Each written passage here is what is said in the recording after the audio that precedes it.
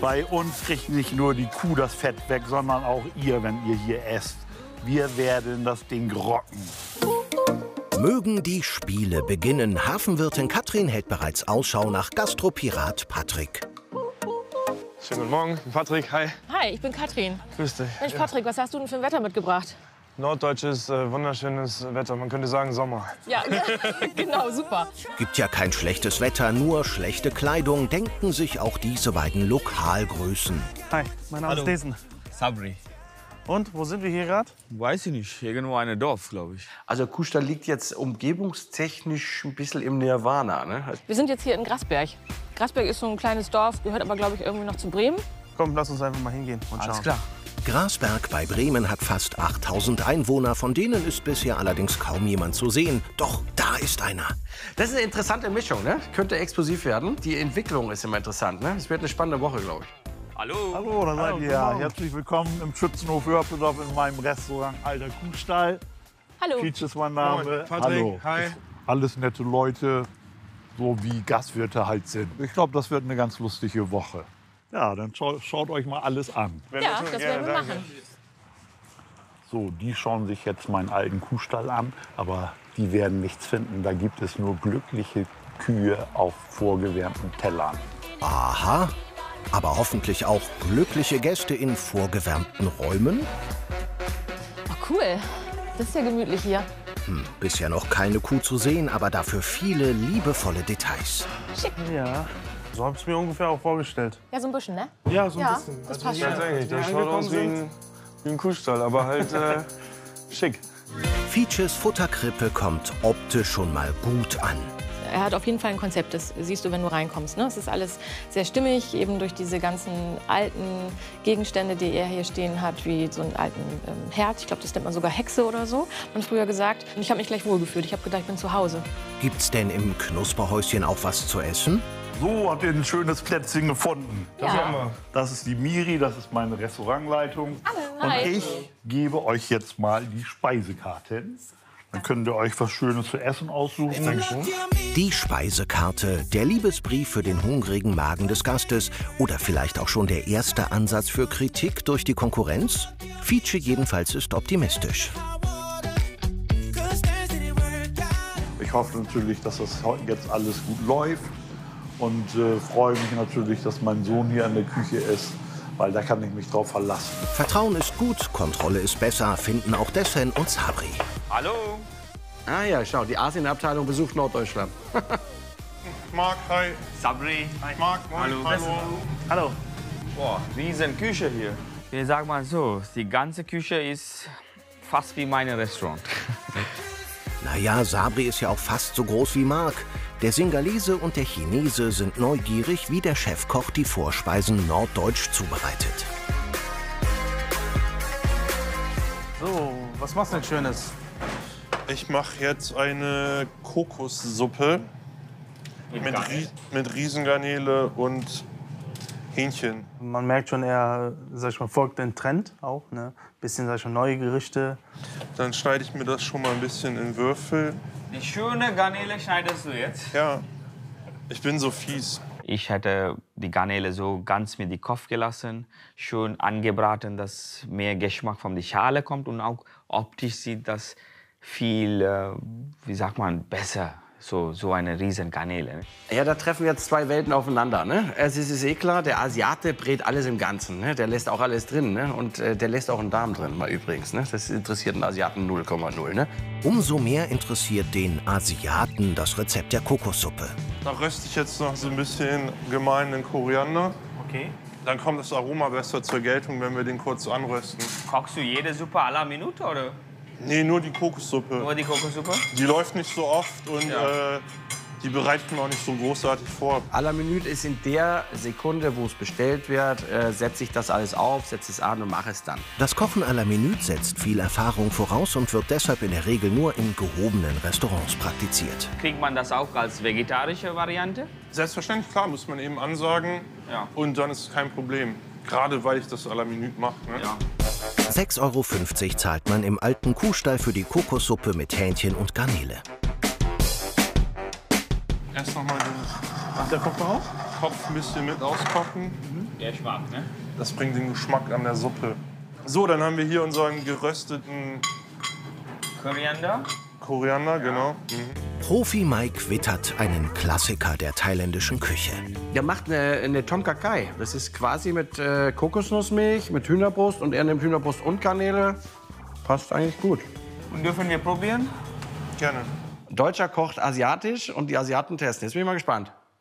In der europäischen Küche wird übrigens eher der Koriandersamen verwendet, in Asien das Korianderkraut. Das ist nur eine reine Kokossuppe, so das ist okay. Das war, hat gut geschmeckt. Gut geschmeckt. Also, bravo, Marc. Ein bisschen Basilikum frittieren. Warum, warum für dich die schöne frische Basilikum? Einfach als Gag, dass noch ein bisschen was Krosses nachher auf der Suppe und schmeckt gut. Ne?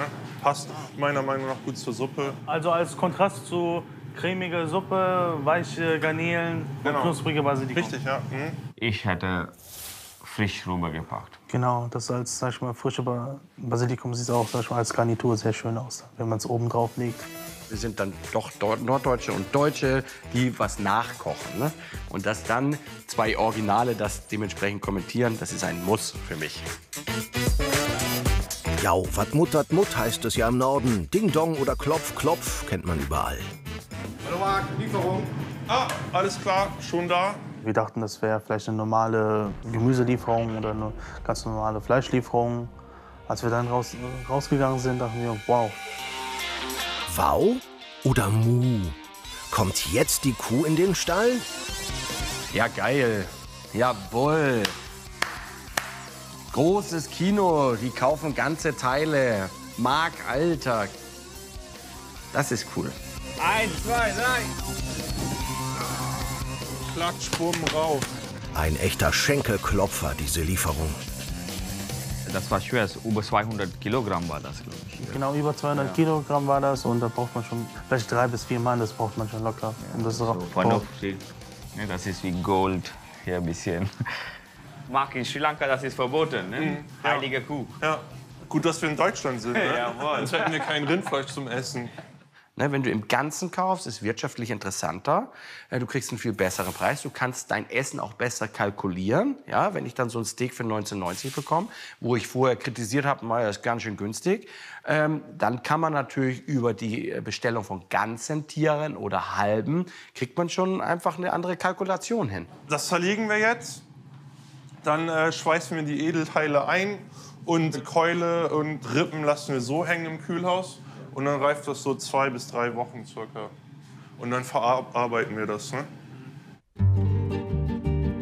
Moment, was heißt denn jetzt wir? Dessen und Sabri haben schon Angst. Nee, nee, nee, das macht dann doch lieber Johann Lange. Er ist Koch im alten Kuhstall und hat das Zerlegen von Tieren in der Ausbildung gelernt. Gerade in Sri Lanka ist verboten, Rindfleisch äh, zu schlachten und sogar in Bombay, Indien. Die Kuh ist heilig und die laufen rum, so mehr Kühe als Menschen. Dessen stammt aus China. Dort gibt's zwar viele Menschen, aber weniger Kühe. Auch für ihn ist dies eine tierische Erfahrung. Ähm, für mich ist es auch das erste Mal. Ne? Ich habe es noch nie ge- gesehen. Und äh, es ist auch ein Erlebnis. Ne? Das sieht man nicht jeden Tag. Stück für Stück arbeitet sich Johann durch die Anatomie des Rinds. Die äh, beliebtesten Stücke sind natürlich Oberschale, Hüfte, ganz klar das Rostbeef und das Filet. und das als erstes weg. Aus dem Rest machen wir dann äh, Gulasch, was wir auch immer brauchen, zum Beispiel Soße und, und, und. Das verwerten wir schon alles komplett. Dass sie halt oft oder sehr viel mit frischen Sachen kochen. Das hat mich, sag ich mal, wirklich überzeugt auch. Genug der Theorie, nun will Fietsche seine Kollegen mit der Vorspeise überzeugen. Katrin zum Beispiel nimmt die Kokoscremesuppe mal genauer unter die Lupe. Patrick wagt sich überraschend romantisch an die Hochzeitssuppe. Sabri verzichtet zunächst auf Fleisch und entscheidet sich für den kleinen Bauernsalat. Einmal die gemischte Vorspeisenplatte. Ah, der Dessen will's wissen. Das sieht mal äh, richtig gut aus. Wenn du möchtest, tauschen wir gern. Dessen ist nach seinem Ausflug in die Küche so ausgehungert, dass er quasi einmal alles bestellt, die gemischte Vorspeisenplatte. Bissen für Bissen arbeiten sich die Konkurrenten nun durch den ersten Gang. Na, wer findet das erste Haar? Das ist eine richtig schöne Hühnerbrühe. Von der Einlage alles drin, was ich mir vorstelle. Ich bin jetzt kein großer Fan von diesen kleinen Suppentässchen. Ne? Wir haben Eierstich, wir haben die Markbällchen, wir haben Fleischklößchen, wir haben frischen Blumenkohl, das schmeckst du auch. Also wirklich, äh, das ist nicht TK, sondern der ist knackig, der ist richtig frisch. Ja, das Brot ist, ist schön geröstet, muss ich sagen. Also ich habe erst auf den ersten Blick gedacht, hm, das ist vielleicht ein bisschen hart einfach schon, aber es ist einfach geröstet, super. Das Einzige, was ich ein bisschen schade finde, was ich anders gemacht hätte persönlich, ich hätte einen kleinen Teller mit dem Brot extra gegeben. Ich hätte es hier nicht am Rand gequetscht. Ich finde, das ist nicht so dramatisch, weil äh, das war nur ein Stück. Dann ist, ich finde das okay. Bei Katrin war nicht einmal Platz für ein Brotstück. Aber wie schmeckt denn die norddeutsch-thailändische Suppe überhaupt? Also wenn ich diese Suppe esse, habe ich nicht unbedingt das Gefühl, dass ich hier in so einem alten Kuhstall sitze, sondern das hat schon irgendwie so einen leichten Urlaubstouch. Okay. Ja. Also ehrlich gesagt, ich wollte sie vorhin auch bestellen. Äh, Ich habe mich dann auf die Hochzeitssuppe eingestimmt. Du möchtest bestimmt probieren, Das ne? möchte ich unbedingt probieren, Ja, ja. dann. Wer hat da von meinem Tellerchen gegessen? Ah, der Patrick. Fand die Kokossuppe lecker, aber sie hat nicht meinen Geschmack oder meine Erwartungen getroffen. Ich könnte mir auch vorstellen, dass ich mit ihr am Strand liege, aber ich habe eher eine Pina Colada in der Hand. Ah, ja. Pina Colada und Frau im Strand. Eine Hand so, eine Hand so. Perfekt. Zu viel Kokos, wenn du trinkst, kriegst du auch Durchfall. So. Was ist mit dir los, Sabri? Also du bist Experte da drin. Ich kann Kokospalmen klettern. Ne? So, richtig, ja klar. Das darf man nicht übertreiben. So, jede sechs Monate wir nehmen eine spezielle Tablet, dass wir unser System zu sauber machen. Ne? Weil viele Kinder und so, so viel Kokosfleisch essen, Kokosnuss, die kriegen diese kleine, diese Mini-Würmer in die Arsch. Oh, alter Schwede. Also Gott sei Dank, ähm, äh, mein lieber Sabri, haben wir keine Würmer im, in, also dort quasi. Kriegen wir nicht. Hast du die Crunchy Basilikum ähm, probiert? Ja, sonst mag ich nicht so gern Basilikum, aber der, der, der war angeröstet, ne? Oder wie haben die das Ähm, gemacht? der war frittiert. War es nicht, Frittiert? nicht zu ölig für dich? oder? Nee, gar nicht. Mhm. Nee, der war super. Frittiert oder nicht, dessen ist mit seiner Entscheidung für die Vorspeisenplatte rundum zufrieden. Optisch gesehen, mein Teller top. Ja, das ist dafür- wirklich eine Überraschung. Definitiv für die Optik auch direkt 10 Punkte. Das sieht super aus. Der muss gleich mal Schlachtplatte, ne? Schlachtplatte Kuhstall, her damit. Super, das ist von allem was dabei. Ich sag mal, von, ich glaube, Serrano-Schinken mit Melone bis zu gedünsteten Gemüse. Hier habe ich eine Riesengarnele, frischen, knackigen Salat dazu. Rinderfilet, ne, wirklich zart, medium. Das ist wie Butter, ne, ein Traum. Kannst du mir auch ein Stück schneiden? Ja. Da verliert sogar Sabri mal kurz einen kleinen Salat aus den Augen. Also dafür, dass du aus Sri Lanka kommst, äh, isst du ganz schön wie Kuh. Ja, ich bin ein bisschen eingedeutscht jetzt. Ne? Ach so, ja, okay. Zu meiner Vorspeise habe ich nichts zu bemängeln. Das war alles super. Äh, Moment mal, das Ganze hier ist doch immer noch ein Wettkampf. Also wirklich alles super? Gibt's doch nicht. Super. Nicht, nicht übersalzen. Ne? Aber wird die denn bei der Zubereitung noch extra gesalzen dann? Oder? Ich glaube, ich glaube eher nicht. Ne? Das ist ja direkt in die Fritteuse dann rein. Ne? Fritteuse? Nein, das ist kein chinesisches Essen. Das finde ich ja super, ne? Sabri verpasst seinem asiatischen Kollegen ein, ne? Ist ja keine chinesische Küche. Und ich muss ihr recht geben, also die schaut jetzt nicht äh, frittiert aus. Okay. Neuopa Fietsche und Sohn Mark platzen mittlerweile vor Neugier. So, wie hat euch denn so der erste Gang geschmeckt? Mir hat die Salat gut geschmeckt. Auch mit dieser kleinen Note vom Shiso-Kresse war gut, die Feta. Einzige, ich sag mal, kleine Kritik ist, die Cola-Salat war oben drauf, nicht so mariniert, aber habe ich das runtergemixt. Sonst war alles okay. Was könnten wir anders machen, den da unterheben, dann sieht die aber nicht mehr so schön aus. Ich glaube, ein bisschen Olivenöl rüber, Ah, so okay. das glänzt, ne, so auch schmeckt dieser gu- ein guter Olivenöl. Ja. Gehe zu Bauernsalat. Sehr guter Tipp. Vielen Dank dafür. Ich denke, das macht den Unterschied zwischen einer normalen Gastronom und einer guten Gastronom. Die nehmen auch Kritik ernst. So, und euch anderen hat es hoffentlich geschmeckt. Ich habe es bereut, dass ich nicht das bestellt habe, weil es sah einfach super genial aus. Meine Hochzeitssuppe war toll, hat lecker geschmeckt. Die Kokossuppe Also die anderen am Tisch fanden sie lecker und ich sage auch nicht, dass sie mir nicht geschmeckt hat. So ist es nicht. Ja, es hat mir zu wenig nach Suppe geschmeckt. Also mir haben vielleicht ein paar Kräuter gefehlt, irgendwas, ja, ein paar andere Geschmacksrichtungen als nur die Kokosmilch. Also es hat für mich geschmeckt wie, wie ein Pina Colada. Das finde ich jetzt super, wie der Patrick das rüberbringt. Also er übt zwar Kritik an der Kokossuppe, aber weil es nicht sein Geschmack ist. Und das finde ich seriös, ne? Wenn es dem anderen geschmeckt hat, dann äh, bin ich auch zufrieden. Ja, alles gut. Wie gesagt, ich sage nicht, mir hat es nicht geschmeckt. Ich habe nur etwas anderes erwartet. Ja, die anderen machen immer Strandurlaub und wir beiden fahren lieber in die Berge, gell? Ja, genau. Ja. Vorher reist Katrin aber mit Patrick noch mal schnell in die Küche. Ganz ohne Sightseeing geht's dann doch nicht. Ja, das Schnitzel machst du, das äh, passt super, weil da können wir dir gerne über die Finger gucken. Das ist für mich. Also gib Gas, äh, ich mag es gerne lecker. Klare Ansage. Der leckerste Fisch bleibt immer noch das Schnitzel. Mit Liebe klopfen, ne? Das ist ganz wichtig. Ja, das ist ja auch für mich. Zärtlich klopfen. Genau. Nach dem Schnitzel klopft Marc sicherheitshalber noch mal die Eckdaten von Patricks Bestellung ab.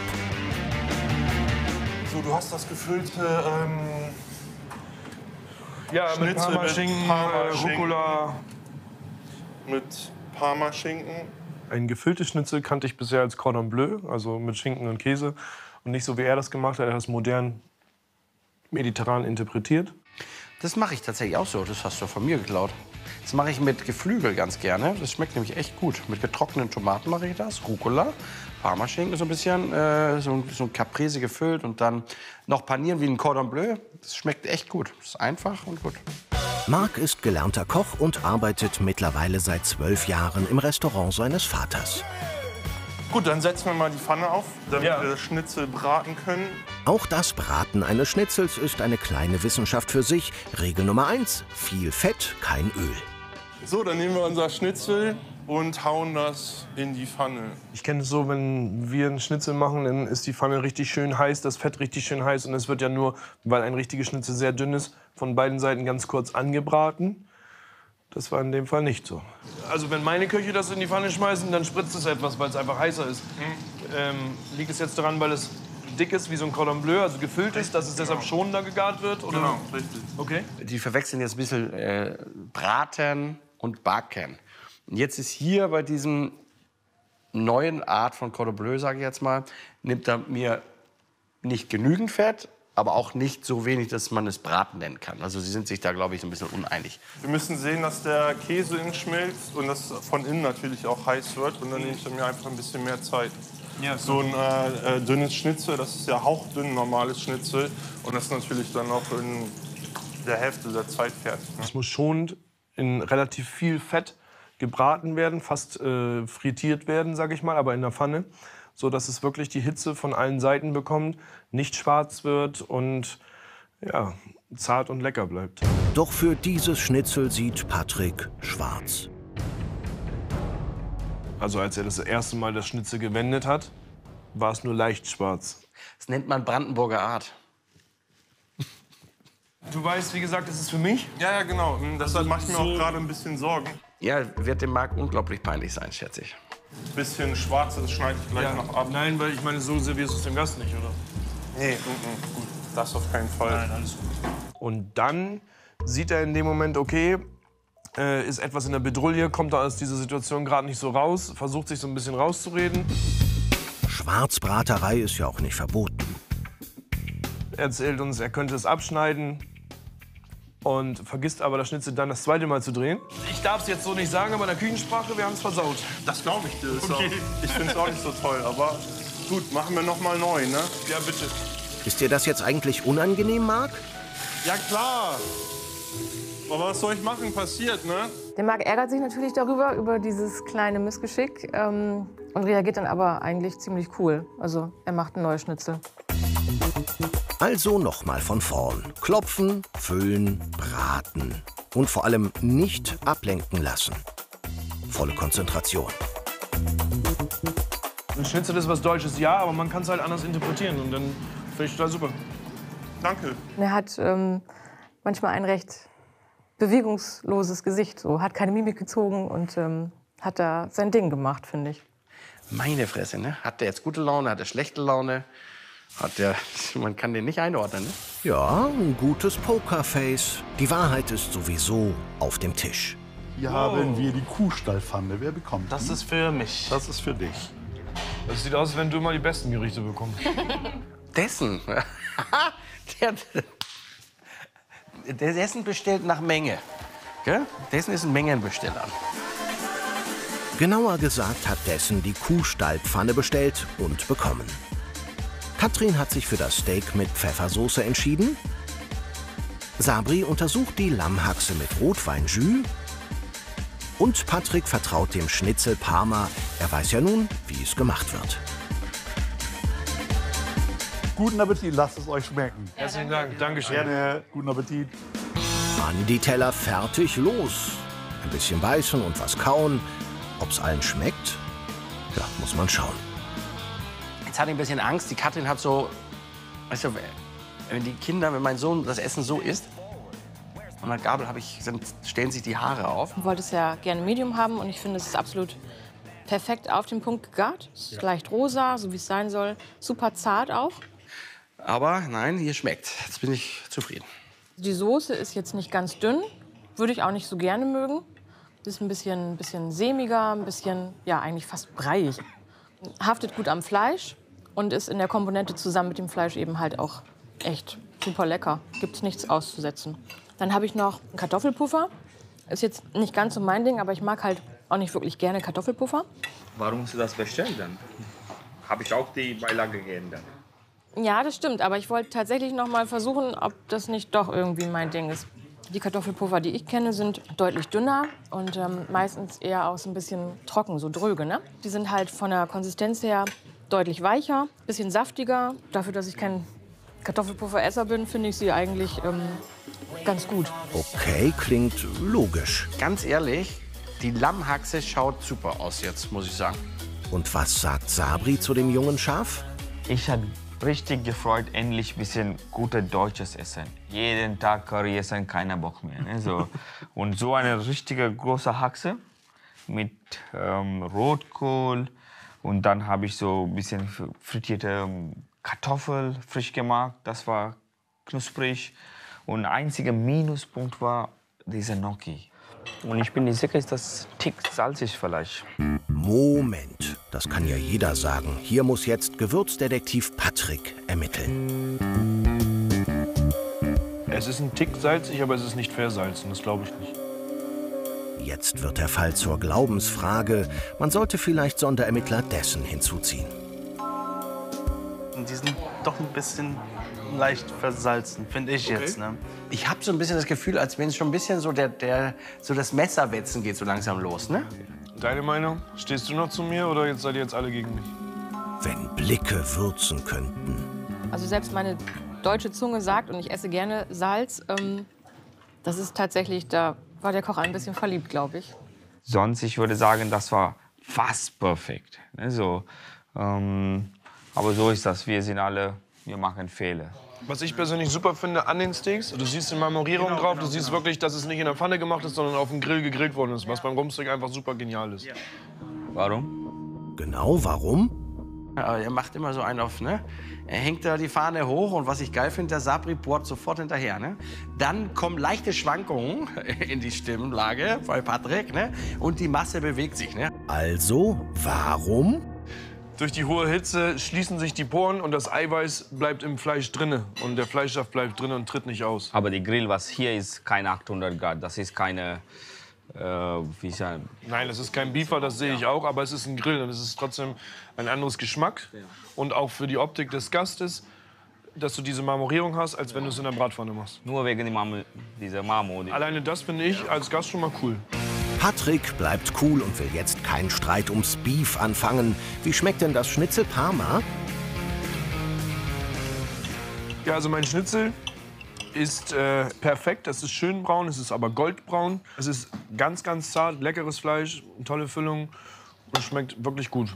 Die Pommes sind ehrlich gesagt nicht mein Geschmack. Ich mag es lieber, wenn sie ein bisschen weicher sind. Die hier sind arg kross. ich mag knusprige Pommes. Siehst du denn, das ist dein, das ist, das ist überhaupt gar kein Kreditpunkt. Das ist jeder mag es unterschiedlich. Ich mag sie halt nicht so, so dunkel, ich mag sie lieber weicher, aber das ist jedem das seine, sag ich mal.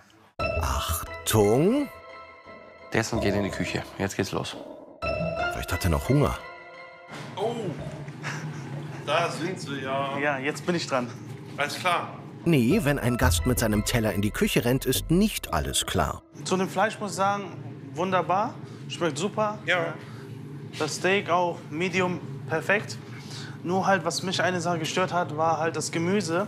Dass es, dann, sag ich mal, nach der Zeit sehr pumpig oder sehr weich ist. Schaut aber auch sehr weich aus, muss ich auch sagen. Vielleicht ist es so in der deutschen Küche so, kennt man's, ne? Aber Ja, für mich halt. Eigentlich äh, sollte eigentlich bissfest, aber ähm, die älteren Herrschaften, die haben das schon gern ein bisschen weicher. Du siehst nicht so alt aus. Äh, Das ist halt schade ums Gemüse und da gebe ich ihm dessen auch recht. Dass es darf eine gute Farbe haben, es darf schön knackig sein. Leider habe ich noch einen kleinen Punkt. Das ist halt der Käse. Was ist denn mit dem Käse? War ein bisschen sehr schwer zu schneiden auch. Das ist mehr so als Chip gedacht, ne? Ist leider ein Teller zurückgekommen, hätte ich heute nicht mit gerechnet, aber gut, äh, passiert. Äh, mit dem Gemüse hat er recht, mit dem Chip sehe ich jetzt nicht ganz so schlimm. Die Kritik von dessen ist in Ordnung, beim Gemüse hat er recht, beim Chip bin ich bei Marc. Aber das ist doch, das klingt doch alles gar nicht so wild. Ich glaube, das war jetzt nicht so äh, weltbewegend, dass sie da viele Punkte abziehen. Das kann ich mir nicht vorstellen. Abwarten. Schließlich vergibt Mike Süßer seine Punkte erst am Ende der Woche. Apropos süß, Marc kümmert sich bereits um die Nachspeise, sehr zur Freude von Sabri. Hallo Marc. Was magst du da denn? Sahne für äh, die Mokka-Creme. Die Bezeichnung Mokka leitet sich von der Hafenstadt Mokka im Südjemen ab. Von dort wurde früher der berühmte Coffea Arabica verschifft. Wenn du magst, kannst du mir in der Zwischenzeit schon mal ähm, einen dreifachen Espresso holen. Drei- Von vorne. Alles klar. Ja, klar. Danke dir. Rollentausch, eben noch Gast, jetzt schon Kellner. Hallo. Ich brauche dreifache Espresso, bitte. Ja, gerne. Dreifach. Restaurantchefin Miri zählt brav mit und fertig. Bist du schon so müde, Sabri, dass du einen dreifachen Espresso brauchst? Nein, nein, das ist von Marc. Er sieht müde aus. Ah, okay, sehr gut. Dann bring den ganz schnell hin. Vielleicht gibt's dann auch ein gutes Trinkgeld. Kannst du auch einen Schluck nehmen? Du siehst müde aus. Ja, danke. Das ist ja sympathisch von dir. Danke, danke, danke. Neupapa Mark ist ja schwer gezeichnet von der kurzen Nacht. Für den Bringdienst gibt's jetzt aber bitte das Rezept von der Mokka-Creme, oder? Schweinegelatine? Ja. Ich darf nicht essen dann, ne? Du darfst kein Schwein essen? Nein, doch, doch. Doch, du isst doch nur keine Kühe, oder nicht? Schwein, Kuh, Hauptsache heilig. Zurück zum Rezept. So, einmal äh, kurz kalt stellen. Ins Wasserbad. Sabri merkt sich jeden Handgriff.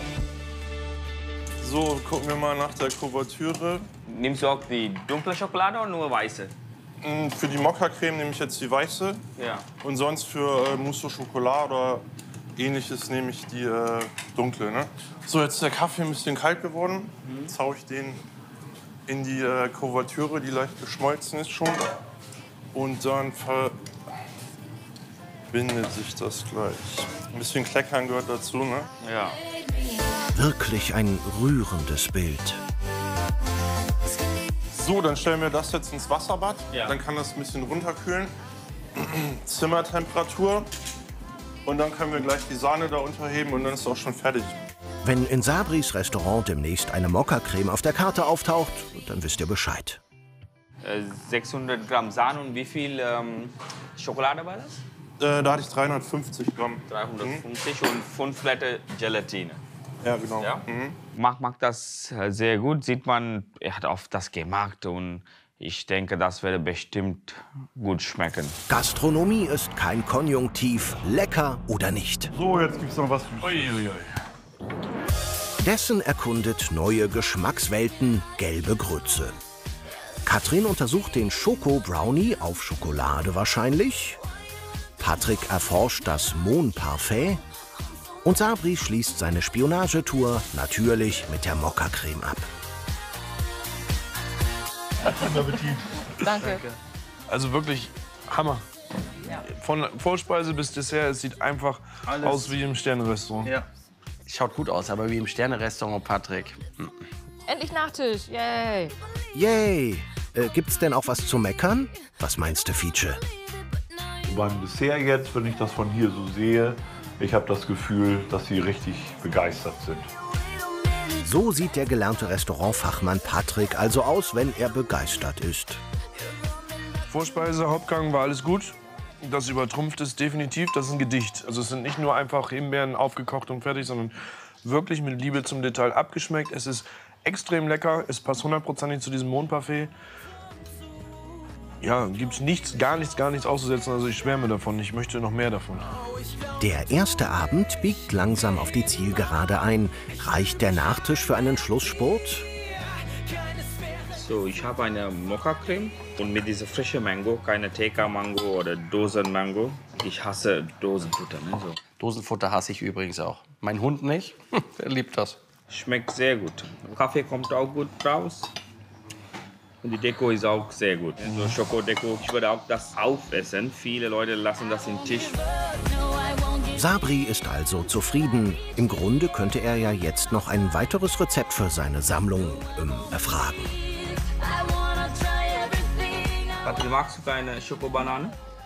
Schokobanane nicht so gerne, aber ich äh, lebe gerade hier diesen äh, Schoko-Brownie-Traum. Ja. Ja, und wenn es nach mir ginge, würde ich mir, glaube ich, ein Drei-Gänge-Menü zusammenstellen, nur aus Nachtisch. Ist natürlich nicht so leicht. Ist halt ein Brownie. Der ist außen fester und knackiger, aber innen drin halt matschiger.